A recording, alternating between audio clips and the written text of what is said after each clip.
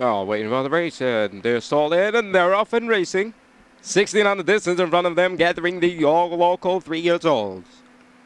For the winners, at the lead at the early stages, from the outside of the field, Watban is moving towards the lead, holding the red hat on the inside of the field, as we see number two Blink, as he is now holding on strongly in the lead with one lane clear of in front of City.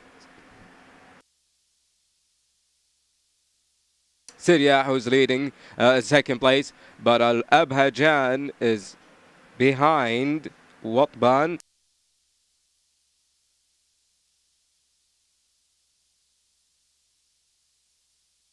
Watban is on the inside of the field, holding on strongly, and Al Abhajan is just after him, trying to take the flag from the tactical position as Azerbaijan on the inside of the, of the rail, uh, finding an open spot to run towards the lead. Syria, uh, Syria is behind them all, and Mustafid in second place off the outside, trying hard to bid on the outside as they come down around the turn.